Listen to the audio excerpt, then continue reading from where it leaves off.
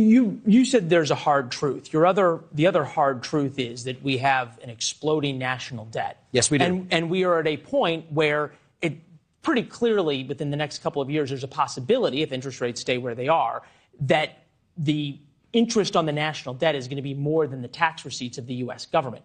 The only way to fix that is entitlement reform. Medicare, Social Security, possibly Medicaid reform. Are you up for that? I am up for that after we have delivered economic growth.